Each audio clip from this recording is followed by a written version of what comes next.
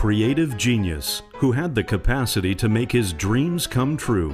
Walt Disney made his biggest dream a reality in the mid 1950s. He envisioned a magic kingdom for people of all ages that would become, quote, a source of joy and inspiration to all who came to this happy place. Exactly one year and one day after breaking ground on the 160 acre site of orange groves in Anaheim, California, Disneyland, Walt Disney's multi million dollar Magic Kingdom, opened to the public with a July 17th inaugural. Since the location of this unique park was of prime importance, Disney retained the Stanford Research Institute in June of 1953 to make an extensive site and location study. Selection of the site was made among many choices, and after a year's study of location analysis, a complete search was done of the land records and where California's population center would eventually be.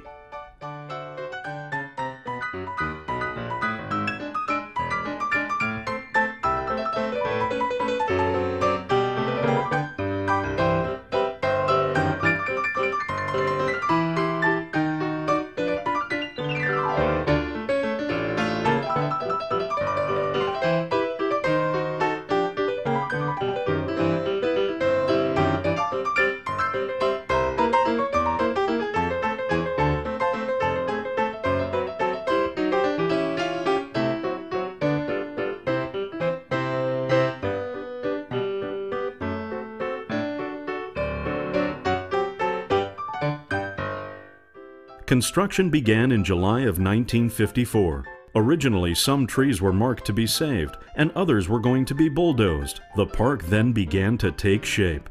In fact, the trees of Adventureland had to be planted months in advance so that the jungle could have a full growing season and wouldn't be so sparse looking.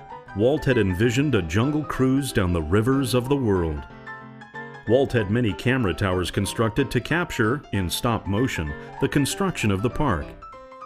The original press kit from 1955 said, Turning back the clock 50 years when you enter the main street of Disneyland, coming through the railroad station from which all Disney traffic stems, the town square gets first attention. To the right of Town Square is the Opera House, which during the time of Disneyland's construction served as the lumber mill for creating the ornate woodwork found throughout the park. In this 1954 photo, local newspaper staffs were permitted to tour the construction site of an unfinished Main Street USA. With only 366 days to complete the park and prepare for the opening, construction proceeded at a frantic pace. Since Main Street USA was patterned after Walt Disney's memories of an idyllic boyhood in Marceline, Missouri, nothing was left to chance. Walt's personal touch was added not only to Main Street, but to every area of the park. Statistically speaking, 3.5 million board feet of lumber went into the park's construction. Some 800 workmen were employed daily. That figure ran up to 2,500 employees, working 10 hour shifts as the opening date neared. More than 3 million cubic feet of paving covered the former orange groves of Disneyland and its parking lot and approximately 32,000 sacks of cement were utilized in their construction. Looking up Main Street, Walt envisioned the Emporium, with his guests making purchases there or completing transactions at the bank. With Main Street itself a replica of a typical small town, Walt wanted to preserve the atmosphere of the turn of the century that would delight and entertain generations to come. From the late 1800s arcade, where guests could be entertained by the diversions of a bygone era, to the streetcar rides up and down the tree lined boulevard, Main Street was a beautifully crafted and constructed view of an earlier America. Three cities were searched to supply the 100 year old gas lamps that would line Main Street. Because Walt didn't want his guests to get lost or confused, at the end of Main Street is the plaza, Disneyland's hub, from which all of the lands could be entered. Partially patterned after the Neuschwanstein Castle in the Bavarian Alps, Disneyland's castle was at one time called Snow White's Castle, then Fantasy Castle, and eventually Sleeping Beauty Castle, to promote the animated film Sleeping Beauty, which would not be released until 1959. Since Fantasyland would be the land closest to Walt's heart, in that it would be home to all of his famous cartoon characters, it was necessary to have an icon just past the hub which represented fantasy. Rather than having it intimidating and fortress-like, it was constructed on a smaller scale to make it child-friendly, with its pastel colors and whimsical towers, minarets, and battlements. The drawbridge is actually functional and was lowered to welcome children on opening day and then again only one other time, when the new Fantasyland opened in 1983. A moat circles the front, and using the movie technique of forced perspective, the stones at the bottom of the castle are slightly larger than the next level up. As everything gets increasingly smaller as the eye travels upward, the castle tricks the eye into believing it is actually taller than its mere 77 feet.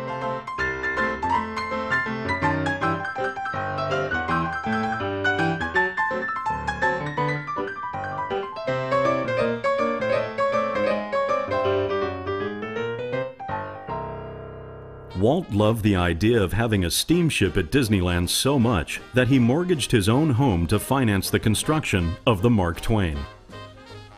The hull of the ship was constructed at the Todd Shipyard in Long Beach, California, while the upper decks were constructed at the Disney Studios in Burbank. No steamboats had been built in America since 1905, so Walt's request to construct an exactly authentic steamship, down to the caulk and rope seals between the planks of the decks, was a little unconventional in 1955. Although built in 5 8 scale, Walt wanted the Mark Twain to be precise in its execution. It was to be 105 feet long, 28 feet high, and it would end up weighing 150 tons. When the upper decks were brought down from the studio and the hull was brought up from Long Beach, the entire craft was constructed like a huge jigsaw puzzle in Fowler's Harbor after being lifted over the berm surrounding the park. The gorgeous railings and filigreed woodwork were crafted in the mill inside the Opera House.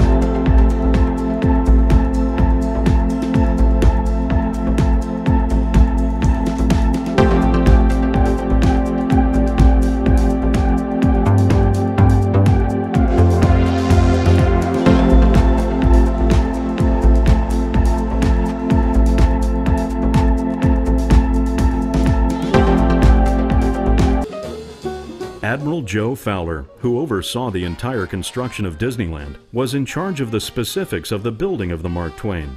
He was even given the honor of having the mooring area for his ship named after him.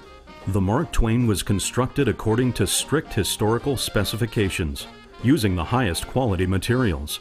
Because it was constructed in 5 8 scale, its engines had to be specifically built by qualified people with previous experience in steamboat construction. A special design was also called for in fitting the scaled down boiler into the hold. The wheels, spokes, and bracing of the paddle wheel were made of oak. The paddles were made of the finest Douglas fir. The actual boilers and engine are run at the back of the ship on the first deck by an engineer.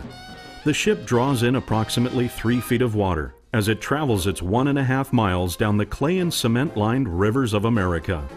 The maximum capacity of 350 guests was established on opening day, when the Mark Twain nearly capsized due to guests running from one side of the ship to the other to see the few animals and sights strewn around the riverbanks as they were pointed out.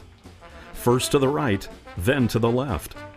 Actress Irene Dunne christened the ship with Art Linkletter, with a bottle filled with the waters from all of the major rivers in America.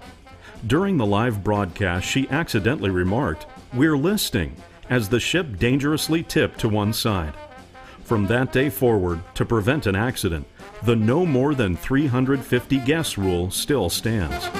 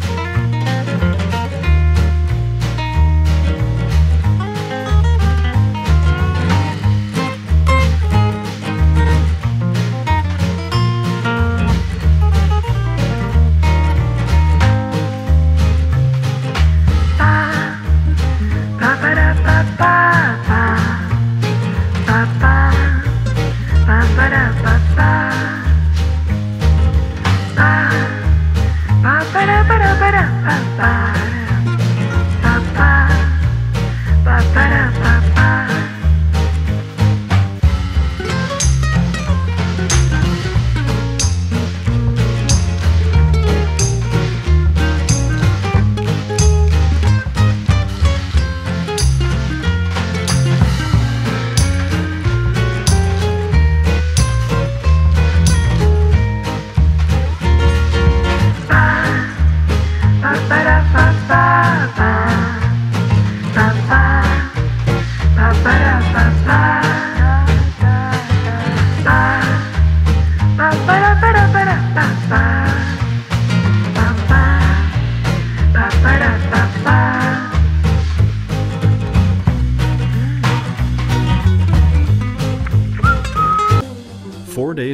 Disneyland opened, on July 13, 1955, 300 guests were invited to the park to celebrate Walt and Lillian's wedding anniversary.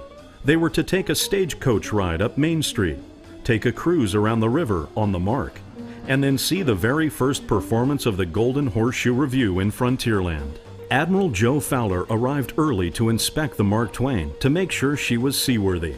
A frantically sweeping lady handed him a broom as he boarded and shouted, This ship is just filthy. Let's get busy and sweep it up. The ex admiral, who had been so used to giving orders, now had Mrs. Walt Disney as his new boss for the evening. For the annual Dixieland at Disneyland event, top name entertainers such as Louis Armstrong, Harry James, and Duke Ellington performed aboard the Mark Twain for.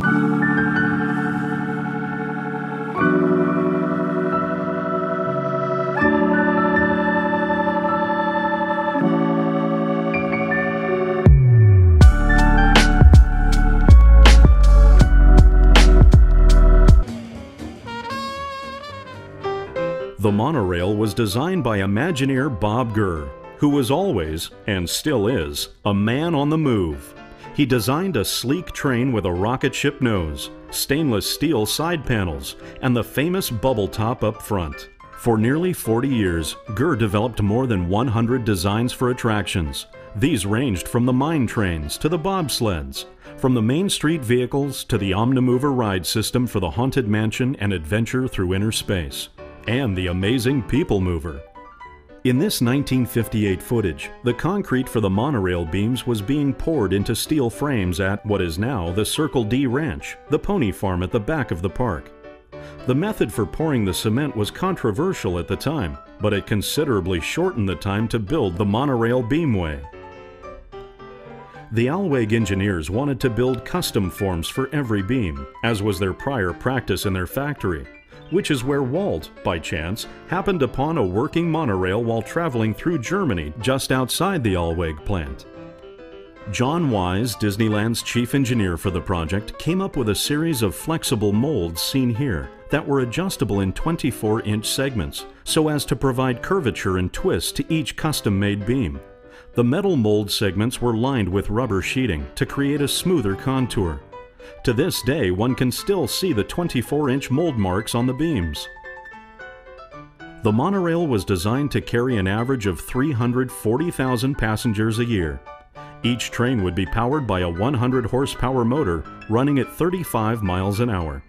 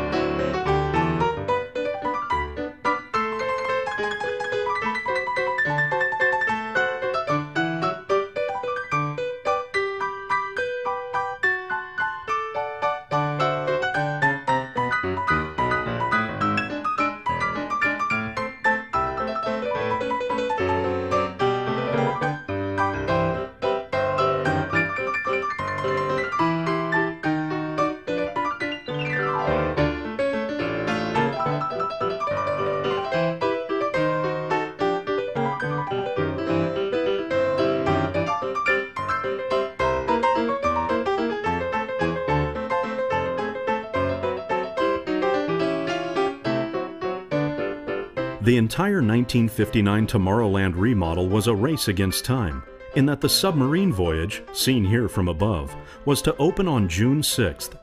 The revamped Autopia, the monorail, and over in Fantasyland, the Matterhorn and motorboat cruise were all scheduled to open less than a week later, on June 14th.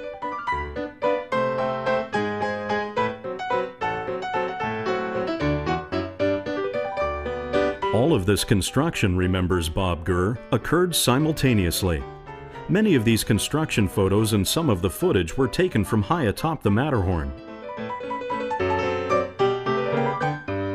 The Disneyland Alweg monorail system was inaugurated on June 14, 1959, with a ribbon cutting ceremony done by then Vice President Richard Nixon and his family.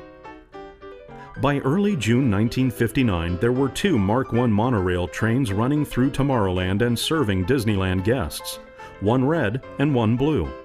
The undercarriage straddled the two and a half mile concrete beamway, unlike earlier suspended monorail cars, and was guided with rubber tired driving and brake wheels.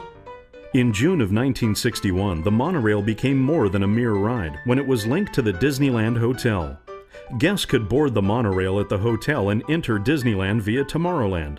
Guests could also leave the park to stop in at the hotel's gourmet restaurant or the monorail lounge for a drink. Besides the extension of the track, the monorail became the first in the world to be a daily operating transportation system and the first to cross over a public street. The trains grew during the 1961 expansion from three cars to four. By the mid 1960s, a fleet of Mark II trains came into being with the addition of Monorail Yellow. The Mark IIIs were introduced in 1968 for the first new Tomorrowland. The Mark IVs were built exclusively for Walt Disney World in 1971, and both resorts added Mark Vs in 1987 and Mark 6s in 1998. The latest incarnation of the monorail, the Mark 7, arrived at Disneyland in December 2007 and will be operating in 2008. In Disneyland's very own little village of Rainbow Ridge in Frontierland, one could board the stagecoach, the Conestoga wagons, the buckboards, the pack mules, and the Rainbow Caverns mine train, all by the first year of operation in 1956. The area was closed in the winter of 1958 for a major seven acre expansion. It reopened after a year and a half of redevelopment in June of 1960. The original Rainbow Caverns mine train of 1956 had Walt overseeing the entire creative process, from design to construction to completion of the attraction. His creative team of Imagineers included Roger Broggie, Wathel Rogers, Bob Mattey, Sam McKim, and Claude Coats, who, by the way, was told it was, quote, impossible to create separate waterfalls which would maintain distinct colors. He was told that by the end of the first week, the colored waters would all merge into a murky gray pool. He took his problem to Walt, who told him, Well, it's kind of fun to do the impossible. By the time the attraction was up and running, the waterfalls each had their own individual and distinct colors. They never did turn gray.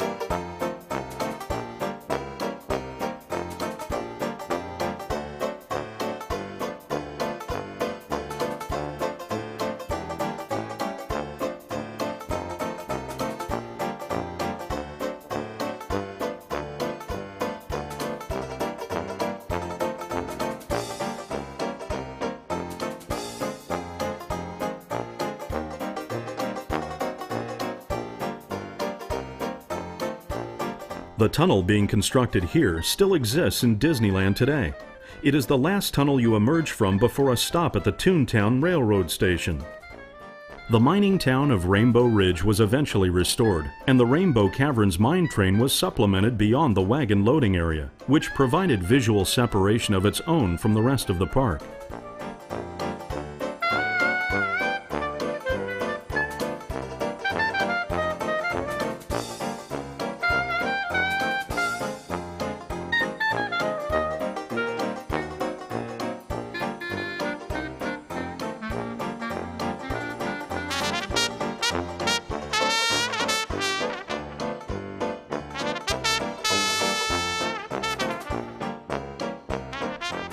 Tree-covered berm helps separate the area and make it visually more frontier-like. Cascade Peak with its majestic waterfalls was added. The stagecoach, which had a nasty top-heavy habit of tipping over with guests on board, and the covered wagons both closed forever in 1959. The new wilderness was now to be known as Nature's Wonderland, which premiered in 1960. The pack mule loading area was placed toward the front of Rainbow Ridge, the old black, green, and blue mine cars were repainted black, red, and yellow. With 1,700 feet of track, the ride was originally 7 minutes long. But by the time of the expansion, there was 2,037 feet of track, making the ride through nature's wonderland a 9-minute journey. 200 animals were added to the attraction, due in part to advances being developed in animation technology. Another reason was Walt's desire to capitalize on the success of his four true life adventure films The Living Desert, Beaver Valley, Bear Country, and The Olympic Elk. These new lifelike animal scenes were intended as Walt always intended everything in Disneyland to be to inform, educate, and entertain his guests. The paint pots and old faithful geysers were added to the Living Desert section of the attraction the jumping trout in the Bear Country section can still be seen on Big Thunder Trail to this day as an homage to the past. A variety of new environments had been created, from the mountains of Colorado to the Arizona deserts to the Wyoming backwoods. The sounds emanating from the buildings in Rainbow Ridge gradually would fade out as the trains pulled away heading into the wilderness, giving the sense of remoteness and isolation. From the Mark Twain or the Columbia, today's guests can view the last surviving mine car, which appears to have been struck by an avalanche and taken over by a family of restless marmots. Since there was stiff competition in the amusement business for parks to have more and more thrill rides, some further enhancements were considered throughout the early 1970s, including a simulated earthquake in the Painted Desert section of the attraction. When the mine train through Nature's Wonderland closed forever in 1977, Imagineer Tony Baxter's plan was to keep up with the competition, but still create Disney magic by developing more of a themed thrill ride involving a runaway mine train called Big Thunder Mountain Railroad. Big Thunder opened in September of 1979 with a few subtle reminders of the mine train. The old dinosaur bones from the desert were now built into the rock wall for the splashdown at the end of the wild ride. Tony Baxter made sure that the original Rainbow Ridge buildings were stored at the Skyway Chalet in Fantasyland. They refurbished and then replaced them back on the hill where they once stood. Interestingly, in 1965, the mine train was an e-ticket attraction. A year later, it was reduced to a D where it stayed until 1972. For no apparent reason, it was then raised back to an e-ticket, where it stayed until 1976, when it was again dropped to D status. It disappeared forever in 1977.